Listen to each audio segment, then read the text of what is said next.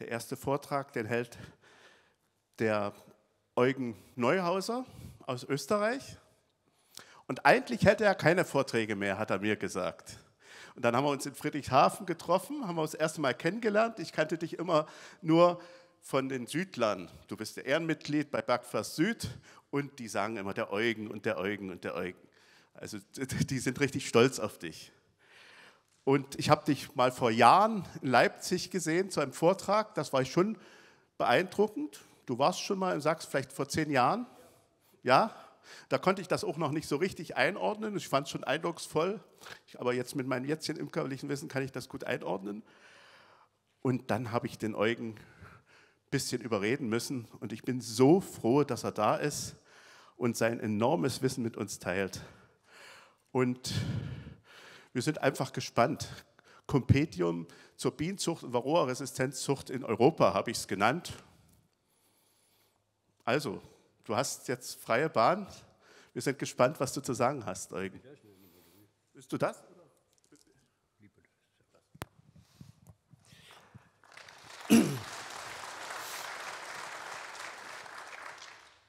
Geschätzte Damen und Herren, liebe Imkerinnen und Imker, eigentlich ist das fast ein Heimmatch geworden. Dino hat es doch geschafft, dass er mich noch einmal, ganz sicher das letzte Mal, in ein öffentliches Forum gebracht hat. Ich habe ja an, was ich letztes Jahr bei Backfest Süd als Ehrenmitglied gesagt, das ist mein letzter Vortrag, den ich halte.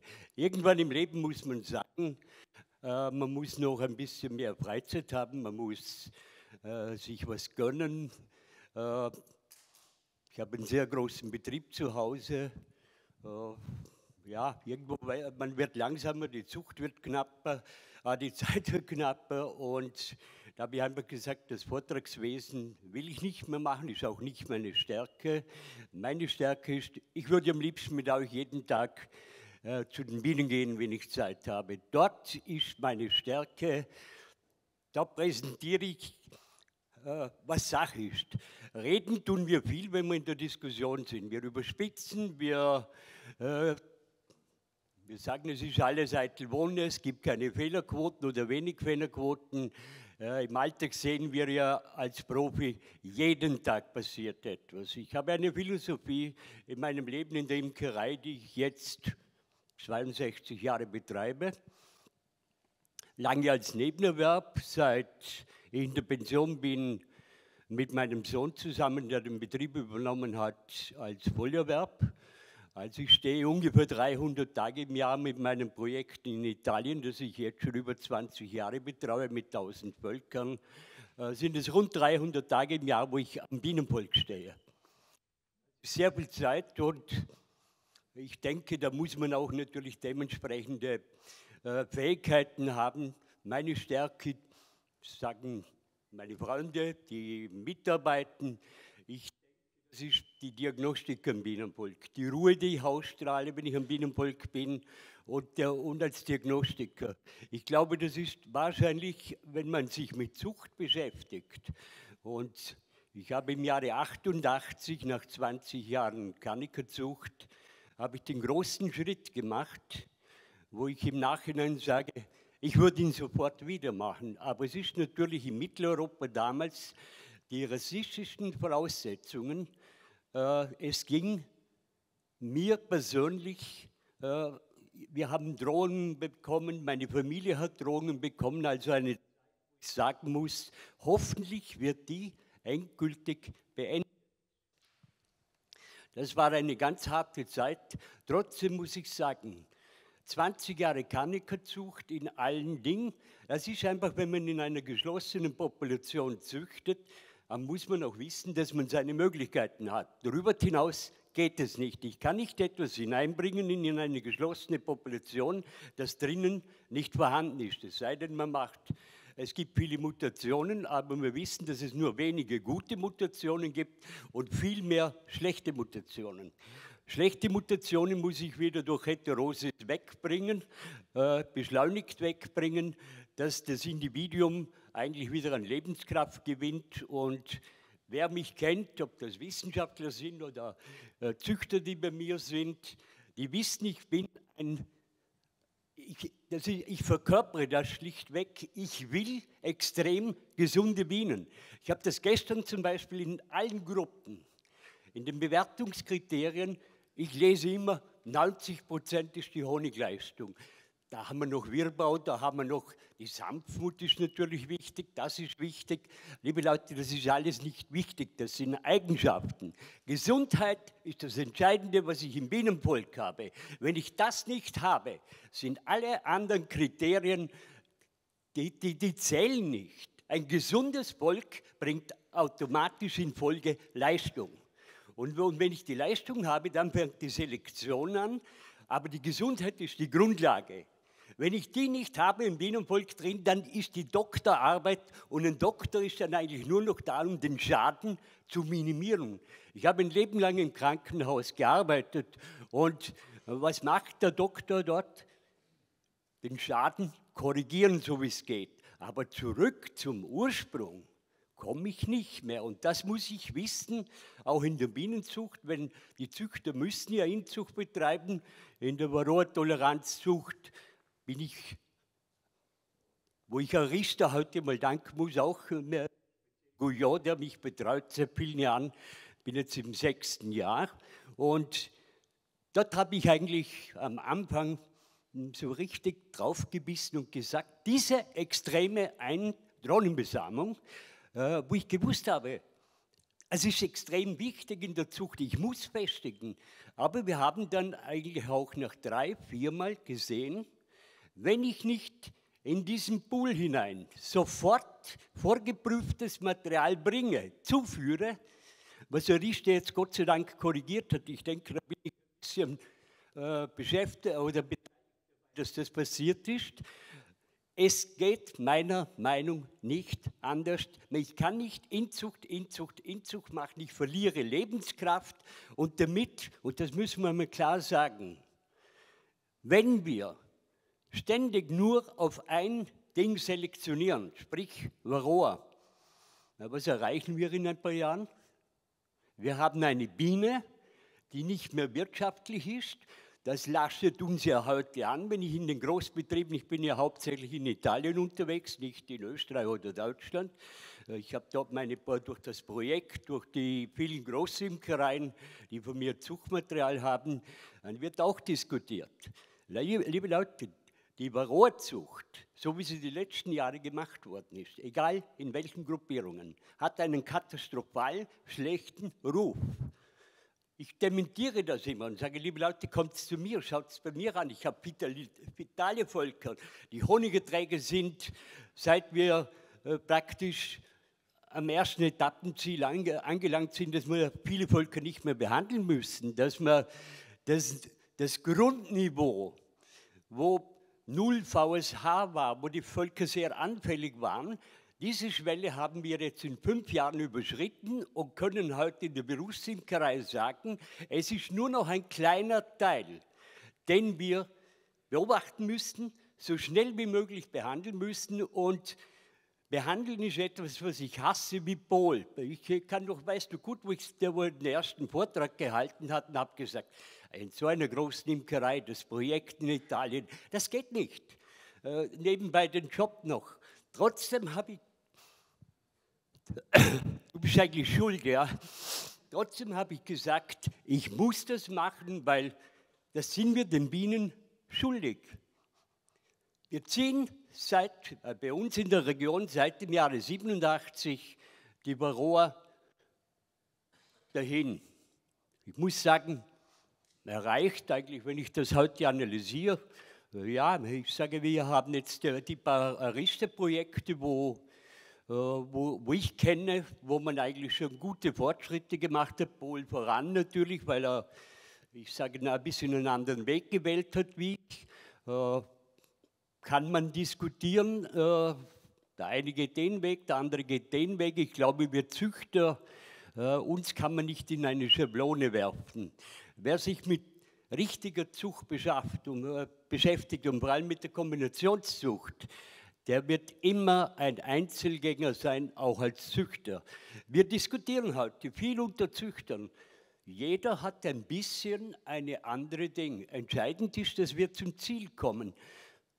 Ich bin einer, der sagt, gesagt hat, ich will die Varroa-Toleranz im Großbetrieb von ganz unten nach zwei, drei Jahren, wenn ich dann 40 Prozent Toleranz habe, im gesamten Betrieb als Minimum angesetzt, habe ich vielleicht schon eine Woche weniger, wo ich fürchten muss, dass meine Völker Schaden haben. Dass ich, dass ich ganz einfach sehe, wenn ich das von Jahr zu Jahr hebe, die Völker sind wieder voller geworden. Der Virus ist im Hintergrund. Das heißt, man kann das nicht mehr vergleichen als wie vor fünf Jahren. Wir haben immer sehr gute Völker gehabt, dadurch, sonst müsste man keine Zucht machen. Aber es sind immer mehr Völker, die wirtschaftlich, die wintern schlecht aus, weil sie zu viel Virus haben, selbst wenn man sie auf Rüberrohr behandelt hat. Ich sehe, ich sehe das so, jede Linie, die man herausgezüchtet hat, stabil gemacht hat, die eine ist empfindlicher auf Viren, die andere ist weniger empfindlich. Wenn man da die Naturrasten hernimmt, dann sieht man zum Beispiel bei uns in unserem Klima Berge, Wetterrückschläge, Föhnlagen, also ziemlich eine schwierige Gegend, wo man Zucht macht. Aber man sieht natürlich sofort die Fehlerquote, die kommt. Und das ist ein Vorteil gegenüber Gegenden, wo das nicht ist. Äh, das zweite, wo bei mir in der Züchtung das Projekt in Italien, das ist im Bereich von am Ätna, runter in den Süden, äh, wo die tausend Völker stehen. Dort haben wir eigentlich 1999 begonnen mit 120 Reinzuchtköniginnen gegen diesen Mischmasch, der vom Festland nach Sizilien gekommen ist, wo die Bienen eigentlich es, das Klima hat sich dann schon, dort schon verändert gehabt. Wir haben extreme Hitzewellen gehabt. Die Völker sind im, im Winter haben die durchgebrütet, im Sommer haben die kleine Einheiten gehabt, dass sie nicht verhungert sind. Und dann haben wir mit diesem Projekt gestartet. Und da werden jetzt sicher viele Züchter, die heute da sitzen, äh, sagen, ah, du bist verrückt, was du jetzt sagst. Aber diese sogenannte Ökotypen gibt es nicht. Schmiert das endlich aus eurem Ding. Ich habe auf der ganzen Welt, von Mexiko bis weiß der Teufel nicht wohin, haben die Großimker von mir Bienen. Auf Anhieb haben wir in Sizilien durch das Projekt eine Leistungssteigerung von ungefähr 60 Prozent gehabt. Die Bienenvölker, die Populationen sind im Sommer nicht mehr runtergefahren, wir haben mit Populationen gearbeitet, die wir sehr äh, die sehr futtersparsam waren. Das habe ich äh, sicher von Adam als Ersten übernommen, weil ich habe ein Leben lang Bienen gefüttert in einer Gegend, wo einfach sehr wenig kommt.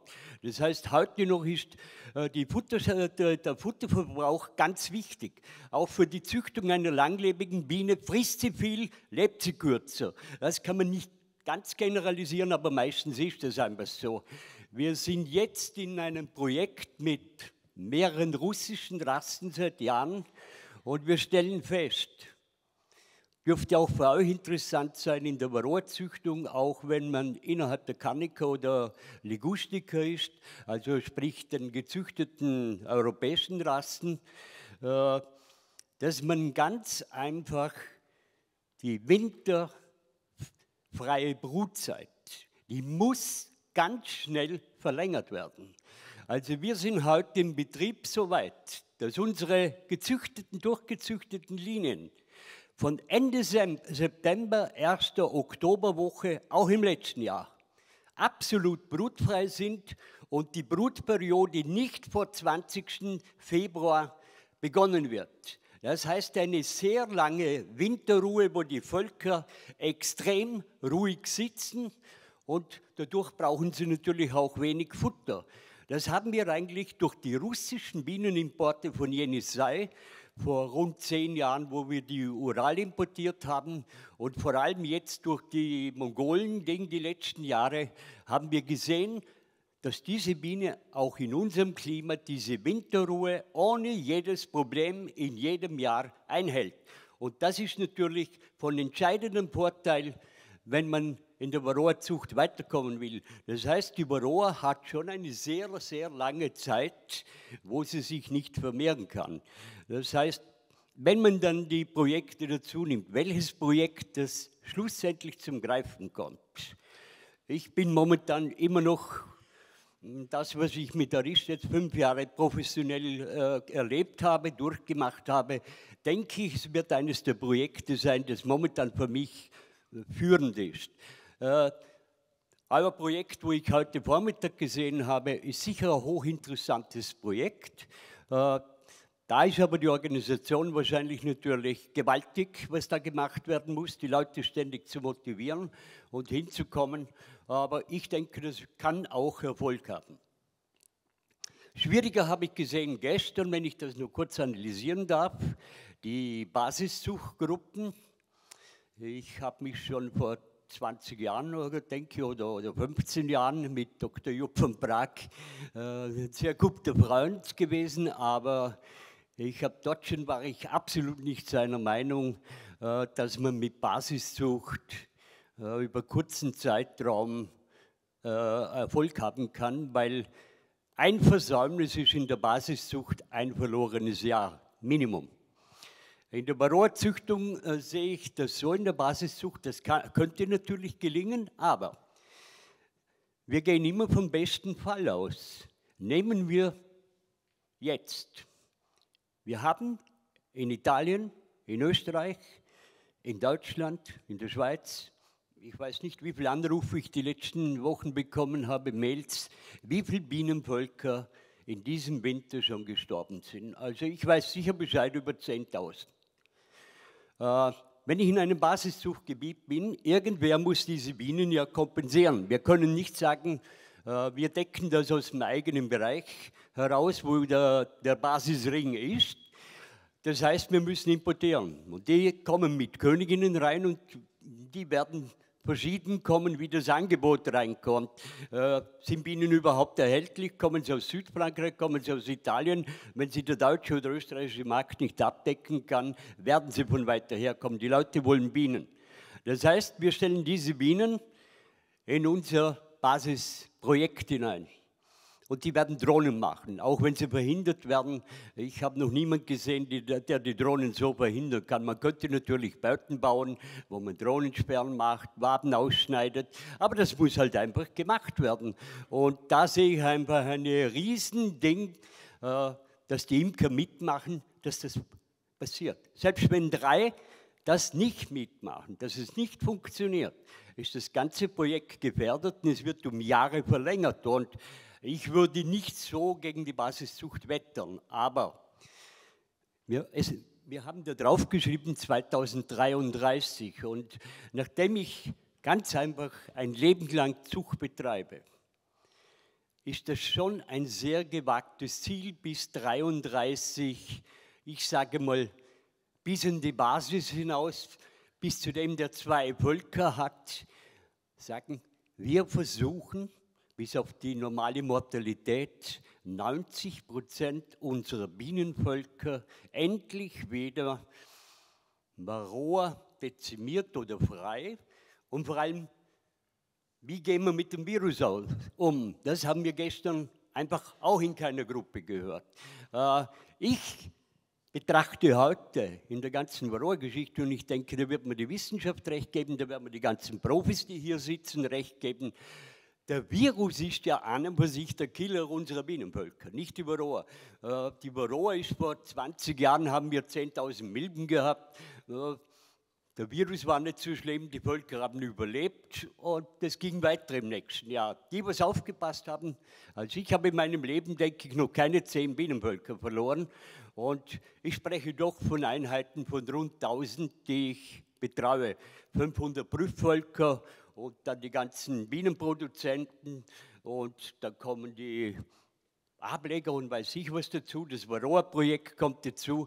Das heißt, wenn man so viel Völker schaffen kann, denke ich, müsste es auch im Kleinen möglich sein, dass man besser auf die Bienenvölker aufpasst.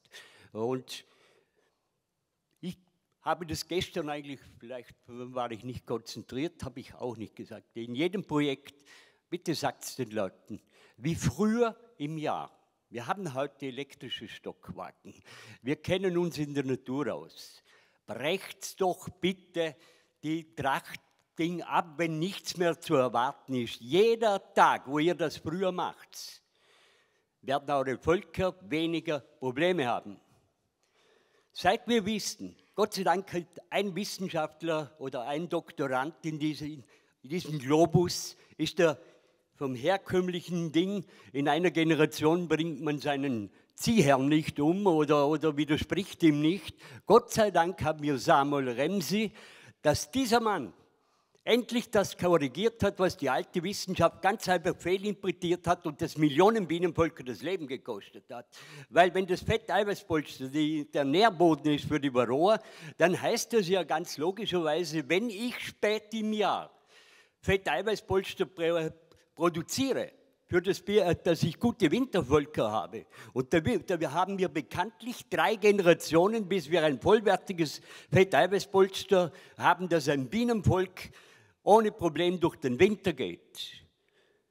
Ist die Varroa zu spät behandelt und wird während dieser Aufbauphase des Wintervolkes das Fetteiweißpolster so geschädigt und der Virus parallel dazu steigt, muss ich doch gar nicht mehr Varroa behandeln. Ich sage heute jedem, wenn einer am 15. August noch keine Diagnostik hat, und seine Völker nicht die auf Winterpflege stellt und, und dementsprechend da arbeitet. Leute, wieso tut sie dann noch was? Da müsst ihr nichts mehr machen. Da hilft auch keine Chemie, da hilft gar nichts. Das Fett Eiweißpolster ist nicht da. Bestenfalls habt ihr noch Bienenvölker, die auf drei, vier Waben überwintern. Äh, wo liegt dort eine Wirtschaftlichkeit? Ich habe in meinem Leben durch die Berufsimkerei gelernt, wirtschaftlich zu arbeiten. Ich, mir hat noch nie einer einen Euro gebracht. Und das heißt, wenn man so arbeitet, selbst im Großbetrieb, jeder Tag, wo ich früher meine Völker abgeräumt habe und die erste Grundversorgung habe, umso sicherer überwintere ich. Die, wo hier sitzen, die wissen ja, wenn ich Vorträge halte, das ist sehr provokant, was ich da immer sage. Wenn Sie ordentlicher Imker sind, dann haben Sie zwei Sachen. Und dann können Sie sich dort einstufen. Im zehnjährigen Ergebnis 1% Winterausfall und 1% Schwarmabgang. Wenn ihr diese Sachen habt, dann seid ihr wirtschaftlich gut aufgestellt und dann gehört ihr zur Elite der Imkerei. Und die, wo das nicht haben, bitte tut etwas dafür. Ihr tut es für die Bienen. Ich mache keine Vorträge für die Imker. Imker sind schlecht ausgebildet und da gibt es andere Leute, wo Imker ausbilden. Da fällt es oft schon an der Grundschule. Hier sind ja lauter Leute, das sind Funktionäre, ihr hört es uns an, ihr macht auch eine Meinung, geht wieder nach Hause. Aber geht's nach Hause und schaut, ob das in Österreich, Deutschland, Italien ist. Es ist katastrophal, wenn ich in die Betriebe reinkomme, wie das Ausbildungsniveau der Imkerei ist. Und da kann mich jeder anzetteln, wie er will. Es, ich sehe ganz selten gut ausgebildete Imker und das beginnt doch. Wenn ich einen Beruf habe, dann muss ich mich spezialisieren. Da machst du eine normale Schulbildung, da machst du eine Spezialausbildung, da mache ich Management. Da muss ich natürlich, wenn ich Management habe, da muss ich wirtschaftlich etwas machen, dass ich auch meine Zahlen bringe, dass ich meine Arbeiter und meinen Betrieb im Leben erhalten kann.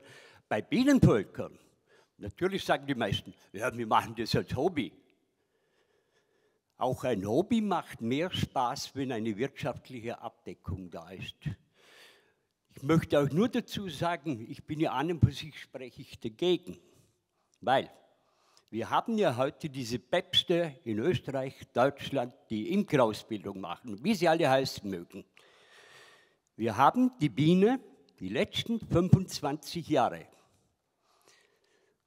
zu einem Zuchtziel gemacht, wo eigentlich jeder Idiot Honig machen kann. Wir haben mit dem Schieding, das ich selbst mit Hans Beer damals durchdiskutiert haben und das dann seinen Weg genommen hat. Mit dem Seeding haben wir ganz sicher vielen Imkern, Imkern verholfen. Gemacht habe ich es damals, dass ich in Notzeiten in meinen Bienenvölkern in schlechten Lagen eine Futterversorgung habe, weil ich den Brutraum einfach so eingeengt habe, dass die Bienenvölker, eine, weil sie mehr Flugbienen hatten, in den paar Tagen Frühtracht, wo sie hatten, eine Notreserve machen und die eingelagert ist. Nicht um den Honig zu klauen. Wenn ich das heute sehe, wenn ich in Italien bin, 1000 Völkerbetriebe, die Akazie wird abgeräumt, Zwei Tage nach dem Abräumen der Akazienvölker, wenn nicht sofort Futterpaket aufgelegt wird, sind tausend Völker tot. Außer sind zwei, die am Umweiseln sind und wo keine Brut da ist. Leute, wohin sind wir gekommen in der Imkerei? Wollen wir Hühnerzüchter werden, wo von der ganzen Ding um, äh, angegriffen wird? Ich habe das in meiner Jugend gemacht. Ich habe Hühnergenetik gemacht. Für meinen elterlichen Betrieb zu Hause habe ich in Belgien Hühnerzucht gelernt. Und wenn man heute wissen, in der Hühnerzucht haben wir heute in so vielen und so vielen Tagen so viel Kilo Zunahme. Und da gibt es keine zwei Tage Unterschied. Der Futterplan ist vorgegeben, das Vitamin ist zugegeben, das Antibiotikum ist zugegeben. Wenn ich heute höre, im Jahre 2024, dass unsere Bienenvölker wir haben drei Gründe natürlich. Die, die, Umwelt hat das Protein im Pollen runtergetan, das ist nicht mehr so wertvoll. Wir müssen Protein geben, wir müssen Mineralsalze geben, wir müssen Vitamine geben. Das heißt, das Bienenvolk hängt heute bei sehr vielen Betrieben am Futterpot, am Vitaminpot. Das hat genauso eine Rezeptur, dass es bis dann und dann diese Leistung bringen kann. Äh, da hat natürlich keine Züchtung eine Berechtigung. Da muss ich sagen, dann würde ich mir lieber wünschen, die Biene würde wieder zurückgehen, dort wo sie mal war. Und zwar, wo ich begonnen habe zu imkern am Bodensee, direkt an der Schweizer Grenze. Da habt ihr dicke Lodenhosen gebraucht, richtig dicke, wie im Winter, weil die Bienen so gestochen haben, dass sie am Bauernhof Hunde, Gänse, Enten, die sind in die Teiche geflüchtet, wenn ein Gewitter im Anmarsch war. Vielleicht wäre so eine Biene wieder gut, dass der Imker weniger zu den Bienen geht. Vielleicht hätte die Biene wieder ein bisschen mehr Ruhe und es würde in der Imkerei vielleicht wieder einmal, viele würden ausscheiden, weil sie Angst haben ohnehin. Und vielleicht hätte die Biene dann noch eine Überlebenschance, so wie das momentan ist sehe ich ganz, ganz schwarz, weil so wie ich die Menschen kenne, wenn die Ausbeutung vorbei ist, das Produkt nicht mehr gefragt ist, dann lassen wir sie einfach krepieren. Das ist heute so, ist ja beim Menschen auch nicht viel anders, leider Gottes. Ich gehe jetzt in die, in die Projektvorstellung, sonst wird es wirklich zu lange. Ich habe Dino gesagt, ich mache ein paar Worte. Äh, aber es ist halt meistens so, dass ich was dazu sagen muss. Also sagt ja, der, Verrückte war wieder da und hat uns Maß geregelt. Aber ein bisschen Maß regeln darf man in dem Alter mit der Erfahrung. Und ich, ihr nehmt mir das sicher nicht übel, denke ich. Sonst bin ich nicht böse. Äh, wir haben also, wie gesagt, 20 Jahre haben wir eigentlich Varroa-Selektion gemacht. Äh, wir haben eigentlich selektioniert alle Bienenvölker, die Varroa hatten, wir wurden damals schon umgeweiselt. Und dann die weitere Selektion war, die Langlebigkeit zu verbessern. Äh, wir haben Anatoliker gehabt, die haben eher zu viel Langlebige gehabt, äh, Langlebigkeit gehabt, was aber zum Beispiel im Schwarzwald in den Tannentrachten von unheimlichem Vorteil war, wenn man sehr starke Völker auch nach der Tannentracht noch in den Winter gebracht hat. Die Völker haben im Schwarzwald eigentlich immer sehr gut überlebt, wo andere Völker praktisch in die Knie gegangen sind. Und das war also das Erste, was wir gemacht haben, dass wir geschaut haben, was passt bei uns.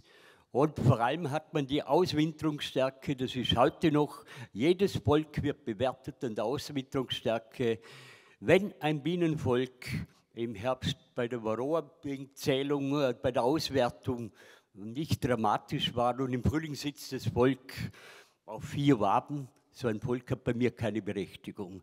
Das ist keine Wirtschaftlichkeit. Solche Bienenvölker haben entweder große Virusprobleme und ich bin fix der Meinung, äh, dass der Virus so verrückt geworden ist die letzten Jahre, speziell in Italien sehe ich das auch in den Großimkereien, dass immer mehr Völker sind, wo einfach auf drei, vier Waben auswintern, obwohl die eigentlich relativ früh, Italiener behandeln ja sehr viel mit diesen Oxalsäurestreifen zweimal im Jahr und dazwischen einmal sperren eigentlich, das ist normal, sonst geht es da nicht mehr in der, in der südlichen Hemisphäre.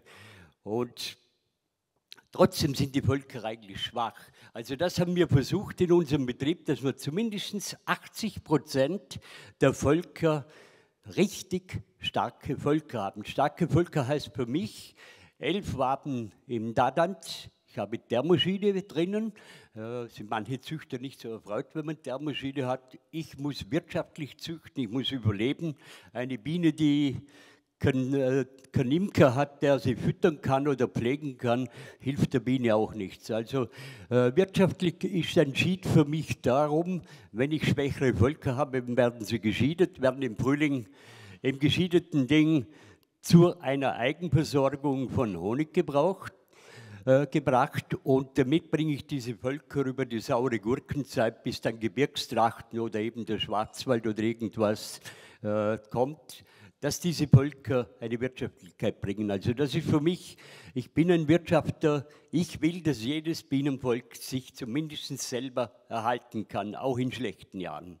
Äh, Zucker reinschütten während der Vegetationsperiode, äh, sowas gibt es bei uns nicht. Ich ernte ein paar Tonnen Honig mehr, fülle jetzt um diese Zeit die Honigtaschen, lasse die fest werden und die Bienenvölker bekommen, wenn es Not ist. Vor allem natürlich komme ich nachher dazu zu den Belegstellen. Wir haben drei Belegstellen, Reinzugbelegstellen und dort werden die Drohnen natürlich alle mit Honig aufgebaut, nicht mit irgendeinem anderen Dreck. Äh, es gibt gute Drohnen, es gibt gute Begattungsergebnisse und vor allem gibt es vom Aufbau her sehr, sehr schöne Bienenvölker. Also wie gesagt, elf Waben ist Wunsch. Wenn es mal nur zehn sind, es gibt solche Jahre, kalte Frühjahre und so weiter, muss man sich überlegen, äh, geht es noch weiter? Ich möchte nicht Bienenvölker mit Druck groß machen. Man, lässt, man schaut ihnen als Züchter zu, was die Biene will. Ich glaube, das ist ganz wichtig, dass wir akzeptieren, was die Biene will und nicht, was wir wollen. Dann hat man eigentlich in der Imkerei schon sehr viel gewonnen. Also wie gesagt, elf Waben plus einen Aufsatz Honig und Zufütterung noch im Spätsommer, dass wir auf circa 835, 38 Kilo Futterversorgung kommen. Die Bienenvölker müssen voll sein, auch jetzt. Bienenvölker, die so geführt sind, das haben wir noch von, vom Altpräsidenten Ries gelernt, der hat gesagt, ich habe nur die Frühtracht und ein Bienenvolk muss so vorbereitet sein, dass es ab dem ersten Tag von der Durchlenzung Honig tragen kann.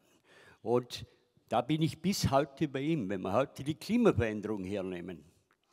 Wenn ihr die, die ganzen Dinge anschaut, die Blühzeiten, wir haben am Bodensee, haben wir jetzt die Blühzeiten bereits zwischen 10 in Extremjahren 14 Tage vorverlegt. Wenn wir die Populationsentwicklung anschauen, wenn die, sprich die, die Brut, die Mitte Februar eingesetzt wird, bis die schlüpft, wenn wir die 40-Tage-Regel halt immer wieder laufen lassen, dann sind diese Bienen produziert in einer Zeit, wo wir keine Tracht mehr haben. Am 17. April, langjähriger Schnitt, habe ich im Rheintal Wüste. Da kein Bienenvolk, kein Tropfen Nektar. Wenn ich nicht sofort abwandere in den Raps oder in die Höhenlagen, in den zweiten Löwenzahn, verhungert das Bienenvolk.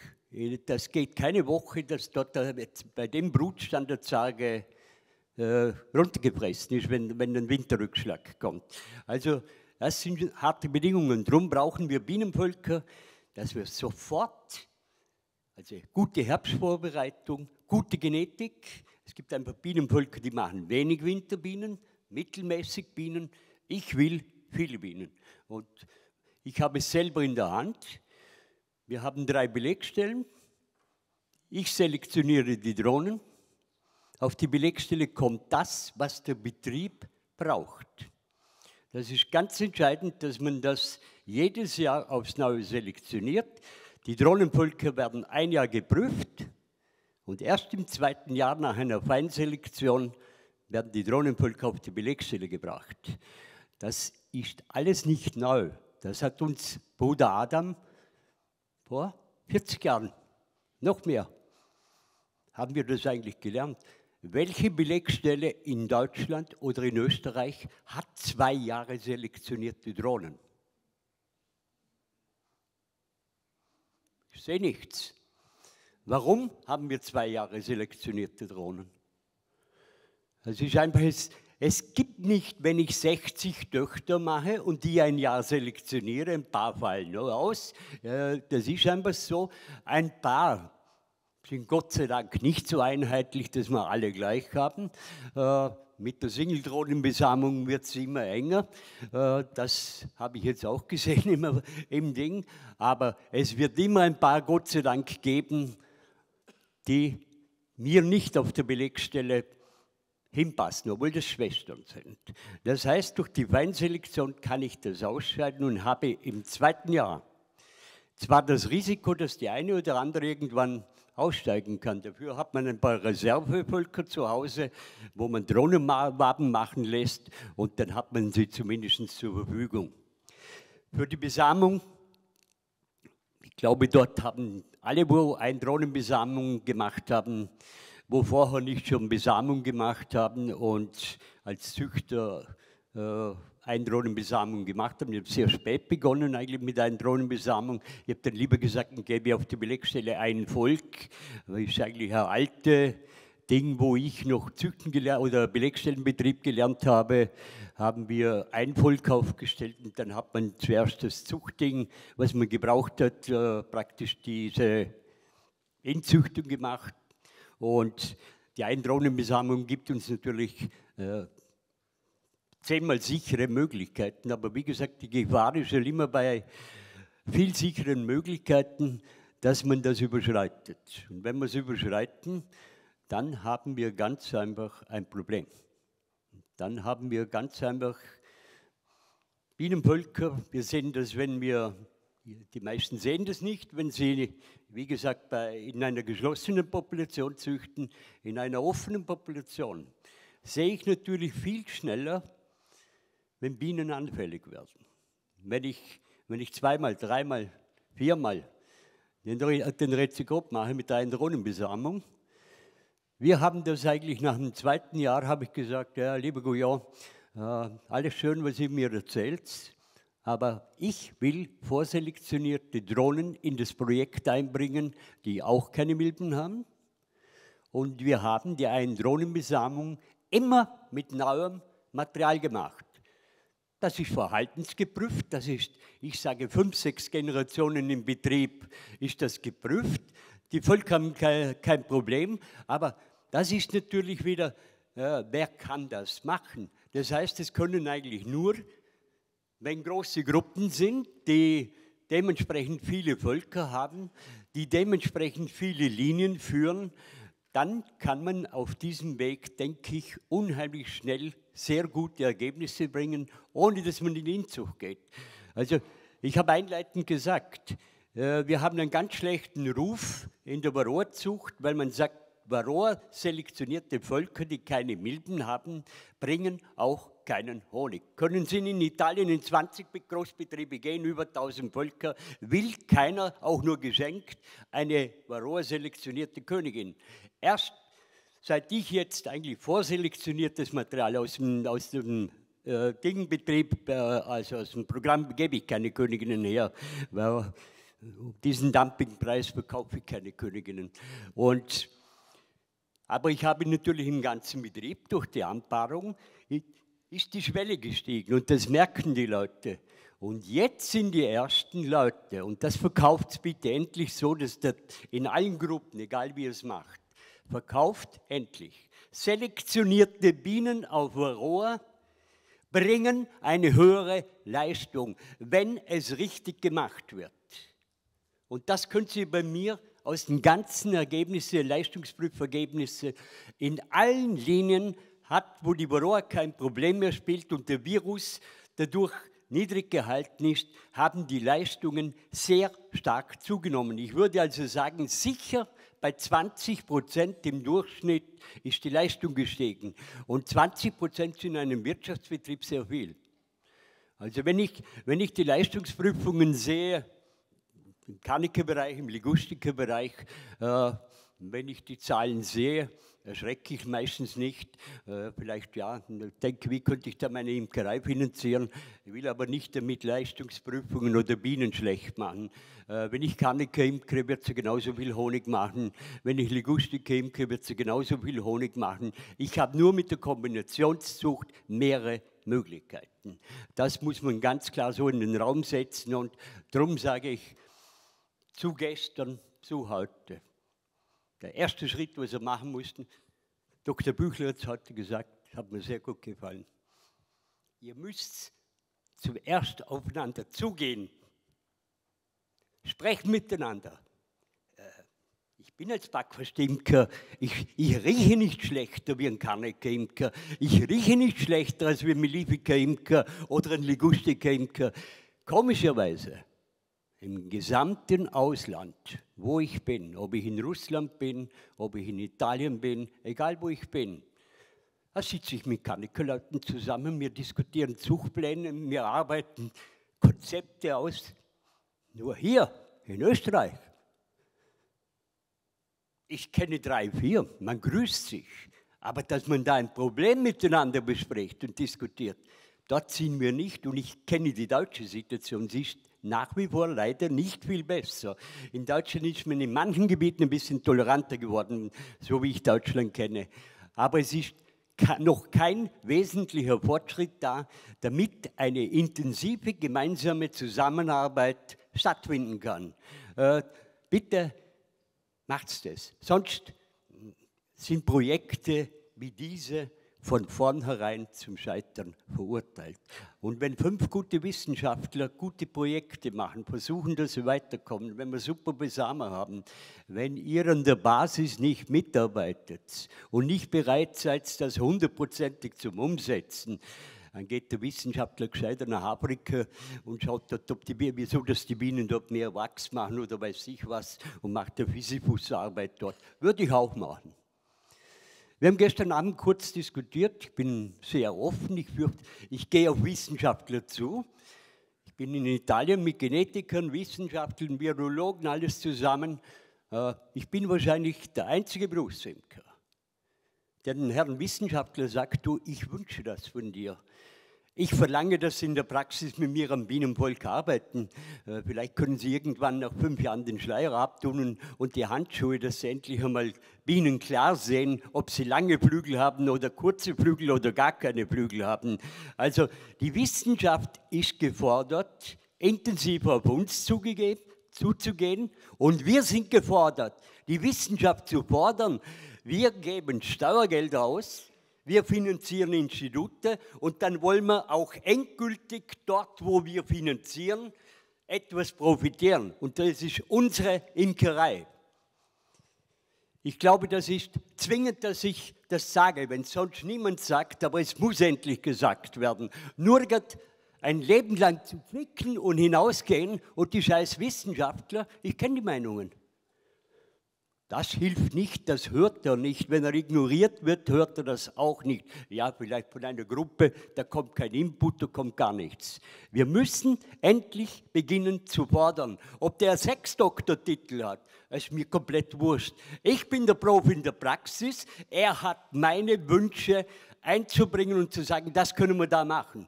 Das ist ein normaler Job, wenn ich im öffentlichen Dienst bin, wenn ich angestellt bin, dass ich das Ergebnis bringe, was ich will.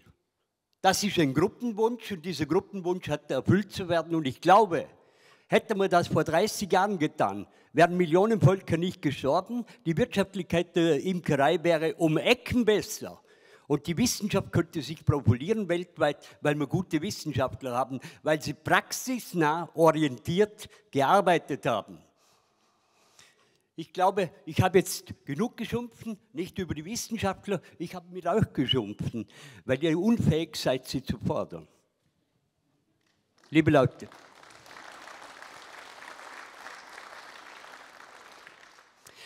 Gehen wir zum Projekt, dass es wirklich nicht so lange geht. Also wir haben die ersten drei Jahre, wo ich mit der Richter, wo ich natürlich auch einen sehr großen Dank ausspreche, weil ich nicht sehr einfach immer zu handhaben bin, weil ich immer sage, was ich will. Habe ich in meinem Leben leider lernen müssen, wo ich in der ganzen Welt unterwegs war während meiner beruflichen Reisen. Äh, habe ich gemerkt, wenn du nicht reagierst, wenn du was brauchst, dann wirst du entweder erschlagen oder verjagt. Beides ist nicht angenehm und damit habe ich begonnen, immer das zu sagen, wo ich denke. Ist im Leben auch nicht immer einfach, aber ich halte es einmal so. Jeder weiß eigentlich bei mir dran, weiß aber, wie er dran ist, weil ich ihm das klar ins Gesicht sage. Und meine Mitarbeiter haben das zumindest immer geschätzt. Ein Rohrprojekt, das erste Jahr, der Aufbau, da hat man die Realität gesehen. Wir haben aber im ersten Jahr, ich glaube, zwei waren dabei, bei so 80 Prozent. Und dann im zweiten Jahr habe ich gesehen, ja, da haben wir wieder, jedes Jahr kommt bei uns eine neue Linie rein, weil wir haben so viele Linien, die bis heute noch nicht durchgetestet sind. Das würde einfach meine Kapazitäten sprengen. Wir sind insgesamt, sind wir, wir haben einen Koordinator, wir haben einer, der die ganzen Pedigrees schreibt und, und, nebenbei Organisationen macht. Und fallweise habe ich dann, um die ganzen Kunstschwärme zu machen und alles, habe ich ein, zwei Personen, die Kisten schleppten oder mal helfen zu transportieren. Und wenn sie, aber die Betreuung mache ich generell selber. Ich weiß, ich bin dort komisch, aber Züchter. Ich mag niemanden, meinem Bienenvolk, das ich nicht gearbeitet habe, das gehört mir nicht. Das schenke ich einem. Dann kann er am Jahresende schauen, was er, was er daraus gemacht hat und wie meine Bienenvölker reagiert haben. Also wie gesagt, ob das ein Selektionsvolk ist, ob das ein Varroa-Volk ist oder ein aus dem Projekt der Volk ist, gearbeitet werden diese Völker immer von mir selber. Äh, da muss einer schon lange bei mir sein. Daniel zum Beispiel, Daniel ist einer, der heute Berufsinker ist und immer wieder mal kommt. Das ist einer, der bei mir wirklich mal am Bienenvolk arbeiten kann. Aber sonst kenne ich momentan bei all den vielen, die bei mir waren, noch keinen, der am Bienenvolk jemals im Brutraum gearbeitet hat. Äh, wenn ich größer wäre wie, wie, wie Mandel, äh, dann müsste ich auch meine Koordinationen machen und ein Ding. Aber ich, ich ich studiere eine Geschichte im Bienenvolk. Ich habe auch dort, ich schreibe nicht wie, ich habe keine Bücher. Ich habe Kollegen, die haben zweieinhalbtausend Bienenvölker. Ich weiß, jeder Stand hat ein Buch, alles wird geschrieben. Äh, ich habe hinter meinem Kasten, das hat mein Sohn kreiert, die Kastennummer und dann mit Initialen, was ist da drinnen, Willine so und so, Belegstelle so und so und dann kommen geschlichtete Erntemengen dazu. Und wenn ein Problem ist, für das habe ich einen Punkt. Eine Königin, wo ich sage, noch einmal, dann habe ich schon eine hier. Dann kommt ein Strich hin, dann muss ich nicht ein Buch schreiben und als weiteres Ding, dass man so viel Völker beurteilen kann, mit Projekten und so weiter. Jedes Bienenvolk ist für mich A, die Geschichte, dann kann ich schnell urteilen. Und 80 Prozent meiner Prüfeinheiten sind bereits am 15. Juni. Brauche ich nicht mehr. Was passiert da? Die werden nicht mehr intensiv beobachtet. Es kommt nur das Ernteergebnis dazu. Und wenn die Geschichte dann doch noch, weil eine späte Silvitracht oder Tannentracht kommt und die ist in ein Virusvolk gekommen im letzten Jahr mit einer Scheißkönigin noch dazu, hat den ganzen Frühling nicht ihre Dinge gebracht, dann kommt die zu diesen 20 Prozent der intensiv geprüften Völker dazu und wird im nächsten Jahr im Frühling, um den Schwarmtrieb endgültig zu testen, ob sie wirklich so stabil ist, um die Leistung zu testen, um die neuerliche Virulenz, wie ist es da, hat sie in diesem Jahr voll überwintert, ist sie im Frühling bei der Spitze dabei, dann nehme ich die ins Zuchtprogramm zurück. Was habe ich dort versäumt? Arbeitszeit ist das teuerste im Bienenvolk. Und von diesen 80 Prozent, wo ich verabschiede am 15. Juni, kommen in der Regel keine fünf Völker dazu, von 500. Also ist es sinnlos, darüber zu diskutieren und diesen Arbeitsaufwand zu machen, dass man sagen kann, ich habe schöne Bücher, wahrscheinlich Propolis verschmiert. Ich habe keine Handschrift bei, bei Bienen, tue es auch nicht abzuschreiben. Also ich muss schnell arbeiten. Also ich habe da absolut nichts verloren und ich würde diese extreme Bürokratie, ich habe sie im Leben gehasst, wir haben viel zu viel Bürokratie, arbeiten zu wenig Effizienz, mit zu wenig Aussagen. Wir müssen uns das wieder abgewöhnen. Wir können in Mitteleuropa wirtschaftlich nicht mehr existieren, weil wir zu viel Bürokratie betreiben. Wir meinen, wir sind todmüde am Abend. Dabei haben wir den Bleistift gespitzt dreimal und den Computer eingeschaltet und den ganzen Tag gearbeitet. Aber wir haben viel zu viele, die dort sitzen und keine effizienten Aussagen bringen trotzdem. Äh, das, ist, das erschlägt jeden, ist auch logisch. Also zurück mit Bürokratie, lieber mehr am Bienenvolk stehen, bessere Diagnostik machen. Und ich glaube, ihr werdet speziell auch in der Varroa-Geschichte viel viel schneller hinkommen. Ich glaube, jetzt habe ich eigentlich sehr viel geschnattert, habe ich ein bisschen eingeheizt. Beim Projekt noch, wie gesagt, die ersten zwei Jahre waren hart. Im dritten Jahr haben wir dann eigentlich das Niveau schon bei rund 50 Prozent. Darunter war eigentlich nichts mehr. Es gab eigentlich nur eine Gruppe, die ganz interessant war. Wir haben aus aus dem Institut äh, Sochi habe ich äh, Kaukasiummaterial importiert gehabt. Und da haben wir die Erstkreuzung mit einer Backfass Saharensin gemacht, von Adam noch. Äh, die S6, Paul weiß damit, was man, oder die Züchter. Und diese Linie, das war ganz interessant, die hat entweder bis zu 100% VSH gehabt, also äh, kaum 2-3% drunter oder sie hat null VSA gehabt. Das war ungefähr halb halb war das. Gouillot, korrigiere mich, wenn das, äh, wenn das nicht so war. Äh, interessant war eines. Alle die, wo null VSH hatten, haben bis heute keine einzige lebende Milbe im Volk. Die Milben sind in der Brut getötet. Alle Ausleser haben gesagt, was ist da los? Ich weiß gar nicht, wie viel Mal dass sie gerufen worden ist. Und das haben wir heute aber schon bei, bei zwei oder drei verschiedenen Herkünften haben wir das gesehen, äh, dass also ganz wenig VSA ist, aber die Bienen haben kein Problem mit der Varroa. Also, äh, wie gesagt, so viel zu euren Projekten, was wir da diskutieren. Was soll man machen? Das große Projekt, das VSH-Projekt, wo schon sehr weit ist, wo natürlich auch eine gute Werbung hat von Amerika mit dem Ding, dem ganzen Ding, äh, eigentlich auch der weiteste Fortschritt erzielt worden ist, soweit ich weiß. Oder sind es noch andere Sachen, die reinkommen? Ich glaube nicht, dass ein Kriterium alleine das Problem lösen kann. Wir sind weit, aber ob das reicht, bin ich mir nicht sicher. Äh, wenn ich letztes Jahr den französischen Wissenschaftler in Italien gehört habe, ich habe in Bologna den Züchtervortrag für die italienischen Imker gehalten und da ging die Diskussion schon los. Stickstoff, Hausraumverhalten. Stempel. Der hat, der hat uns knallhart bewiesen, dass es gibt, der Stempel ist absolut sinnlos.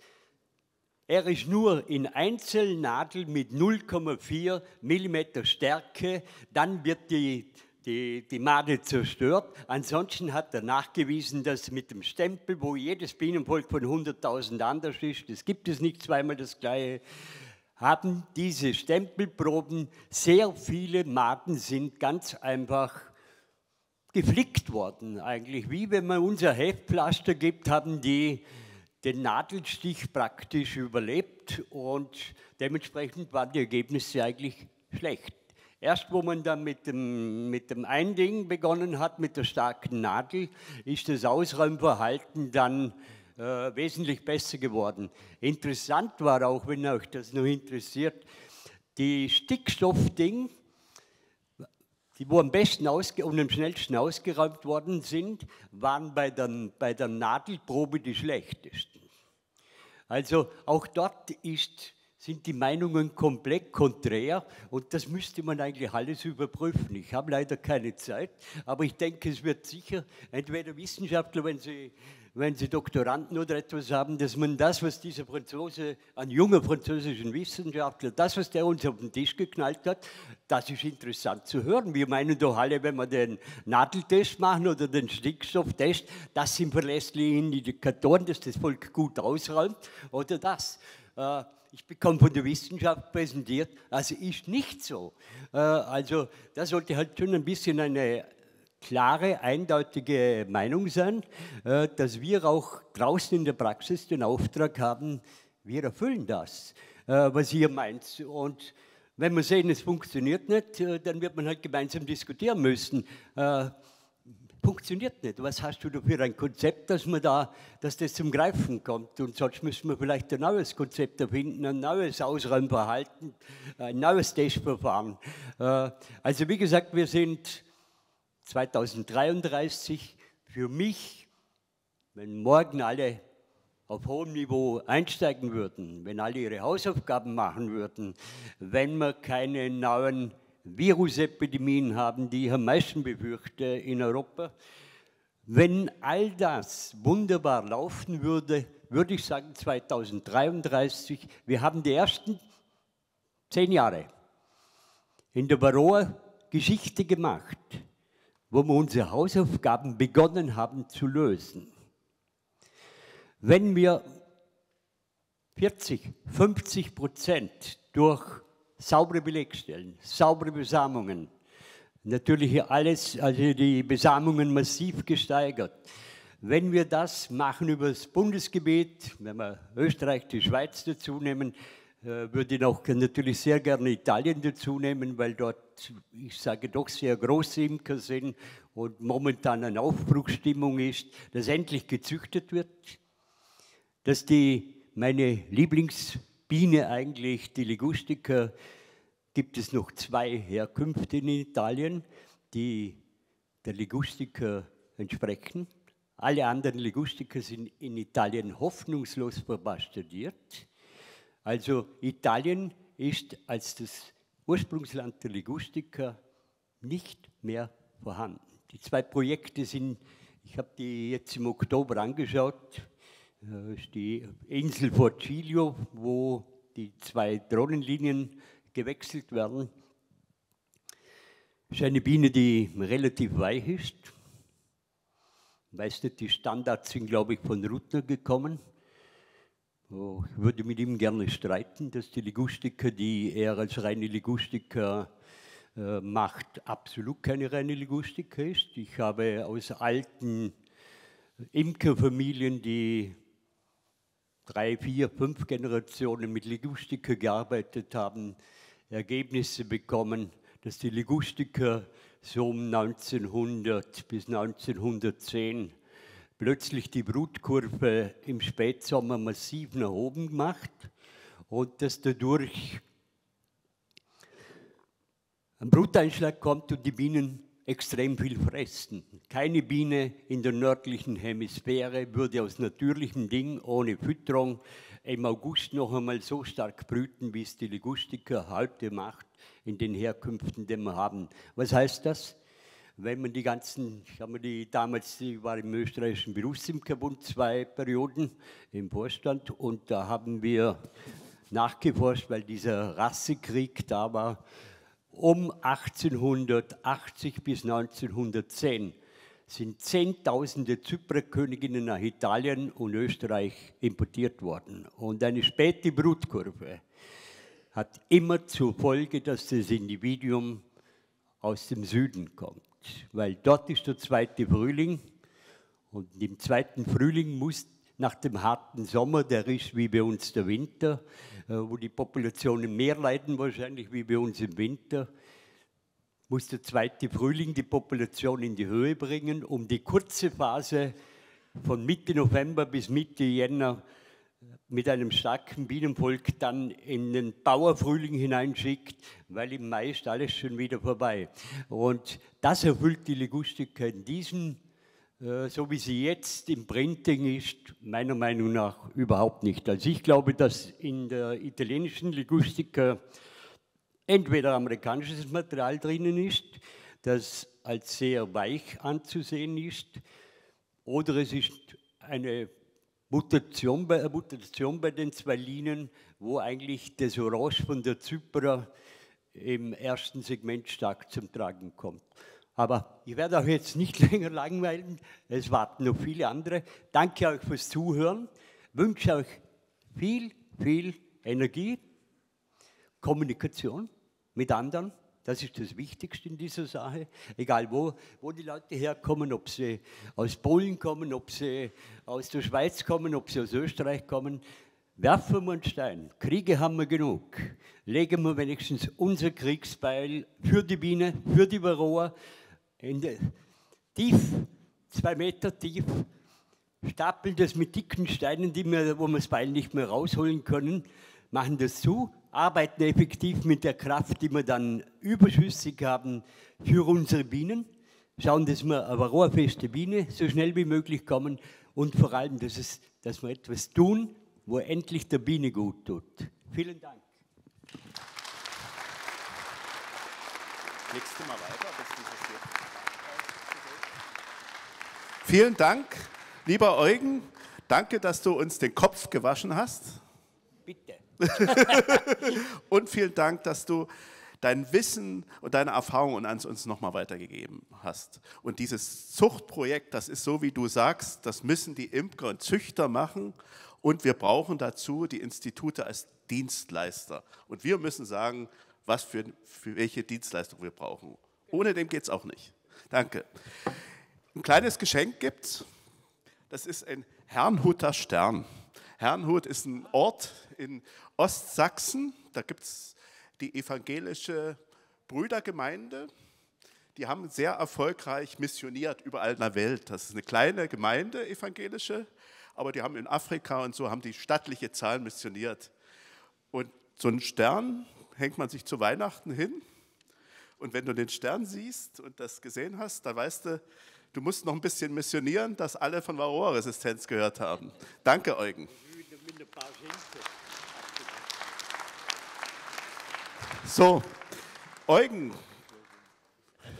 Eugen, bleib noch mal bitte da. Leg das mal hin. Nee, dein Geschenk, leg das. Leg mal dein Geschenk ab. Wir haben noch was Besonderes vor.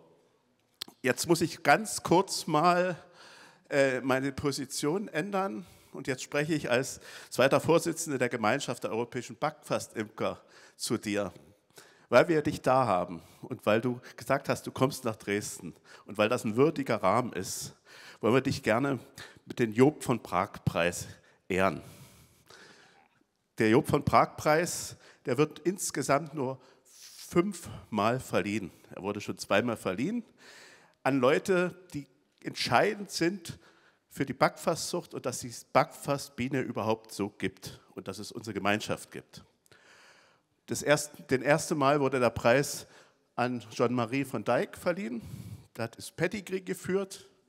Backfasszucht ist im Prinzip Stammbaumzucht und er hat jahrzehntelang für die Gemeinschaft den Stammbaum gezüchtet. Ohne ihn gibt es die Backfassbiene nicht.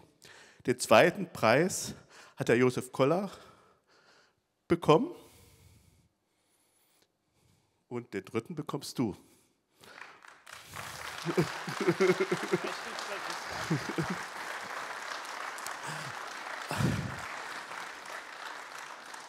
Ganz kurz nochmal zur Erläuterung. Der Job vom Parkpreis ist im Prinzip auch die, seine Witwe hat das abgesegnet. Die hat auch den ersten Preis überreicht.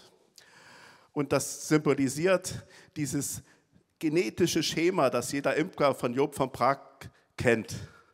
Das hat eine italienische, nee, eine spanische Töpferin für uns gemacht. Und das ist was ganz Besonderes. Und die Ehrenmitgliedschaft hängt, der GDB hängt natürlich auch dran, Eugen.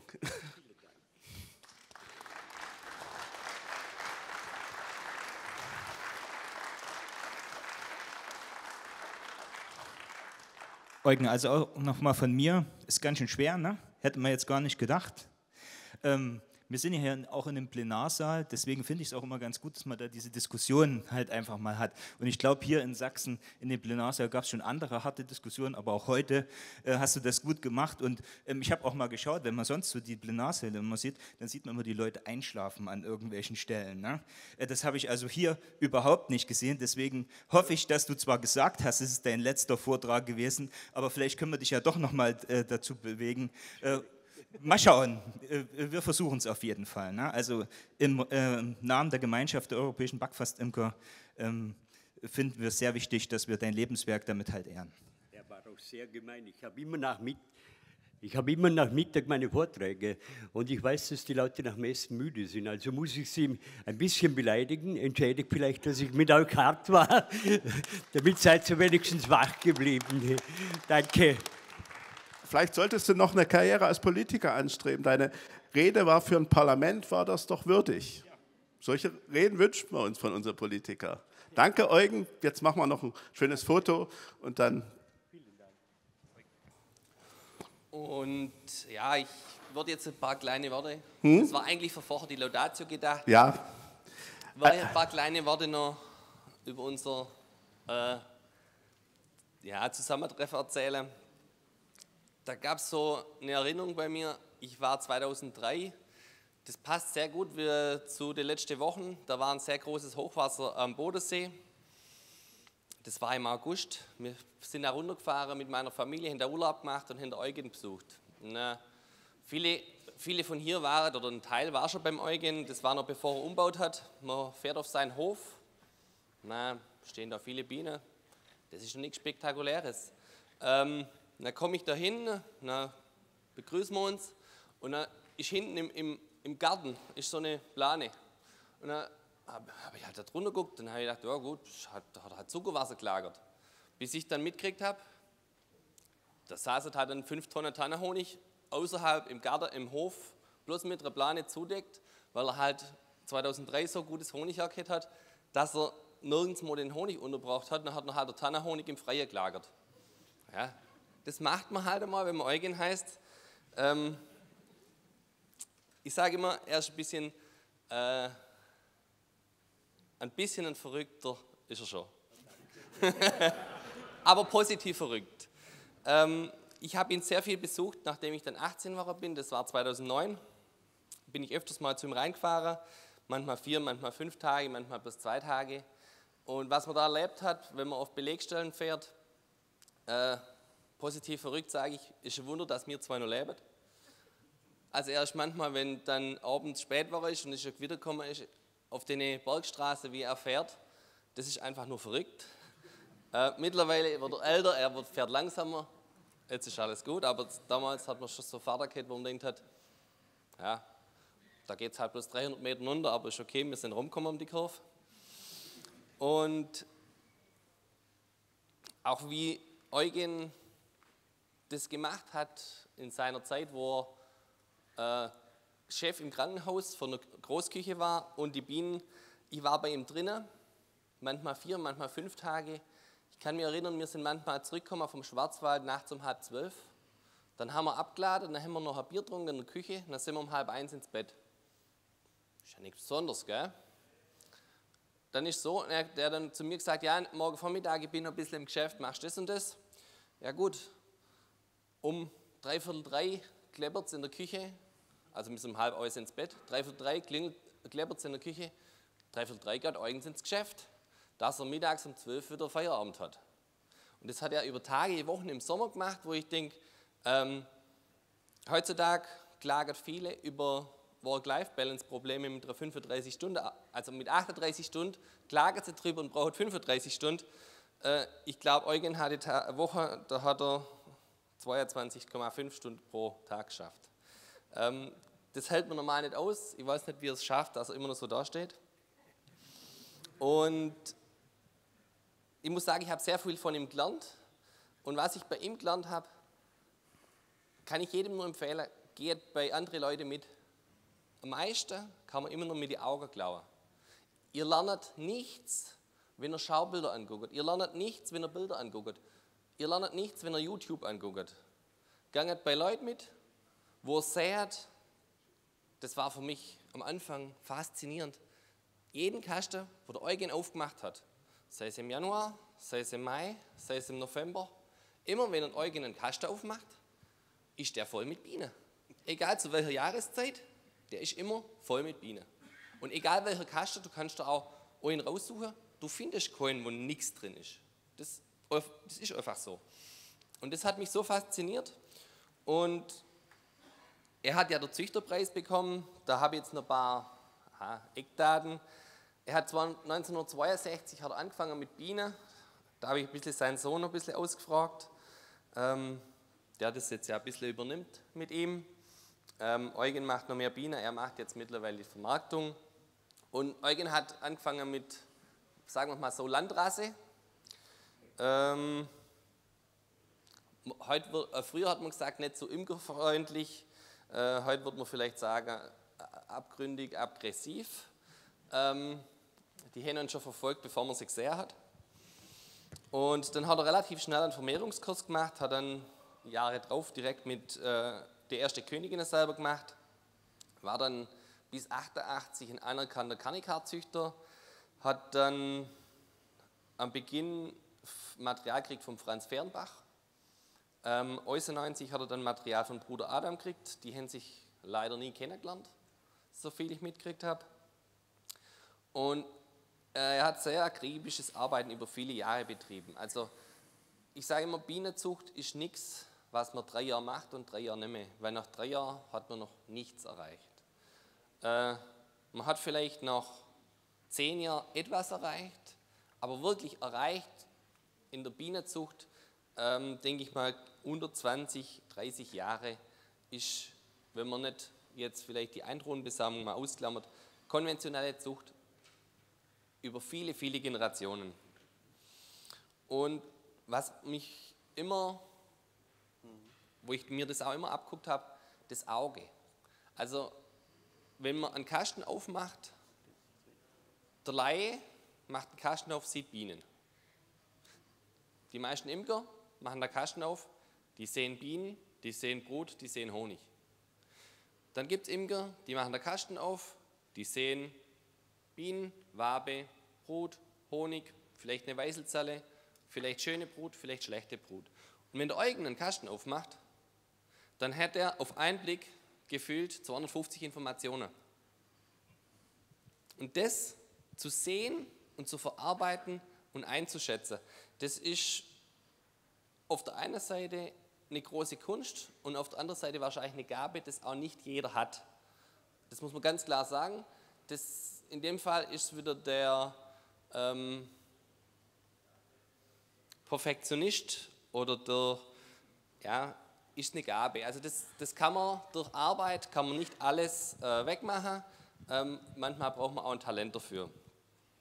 Ab 2018, hat er selber gesagt, ähm, war das jetzt noch ein weiteres, ich sage mal, das ist nicht ein Zuchtziel, Zuchtziel VSH oder Varroa-sensitive Hygiene oder Varroa-Toleranz oder was auch immer, wie man es nennt. Ähm, das, hat, das macht er schon länger, aber seit 2018 dann halt mit, dem, ähm, mit der Eindruhenbesammlung, wo sich dann halt der Fortschritt ähm, sehr beschleunigt hat. Also das war einfach nochmal ein ähm, Zuchtweg, wo das beschleunigt. Er hat lang darüber geredet, ich bin der gleichen Meinung, die Eindruckbesammlung ist schön und gut, was zu finden, aber kein Tool, das man auf Dauer anwenden sollte, allein wegen der Genetik. Und in, vor dem Hintergrund, was Eugen in seinem Leben alles erreicht hat, hat er jetzt vorher den Job van Prag Preis schon bekommen. Und ich hoffe, dass er das noch zumindest mit der Zucht noch ein paar Jahre weitermacht. Vorträge würde er ja nicht mehr halten. Aber ich denke mal, die Biene wird noch ein paar Jahre ähm, erhalten bleiben. Und in dem Sinne äh, hoffe ich, dass wir auch noch öfters miteinander zu tun haben. Dankeschön, Daniel. Eugen, das war die Laudatio, wie sich zu einem ordentlichen Preis dazugehört.